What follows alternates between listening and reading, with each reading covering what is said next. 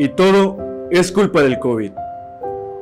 A un año de la pandemia que ha provocado temores y ansiedades, soledad y encierro, enfermedad y muerte, México cayó del ranking global de los países más felices del mundo.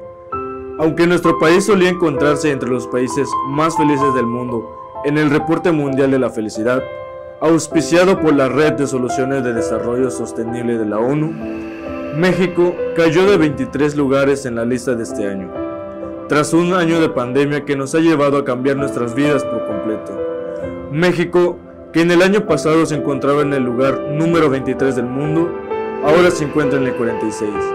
Además de nuestro país, Filipinas, República Dominicana y El Salvador son de las naciones más afectadas en su percepción de la felicidad. Entre los factores que se miden en este reporte anual se encuentran el Producto Interno Bruto per cápita, las expectativas de vida sana y una encuesta realizada a sus ciudadanos.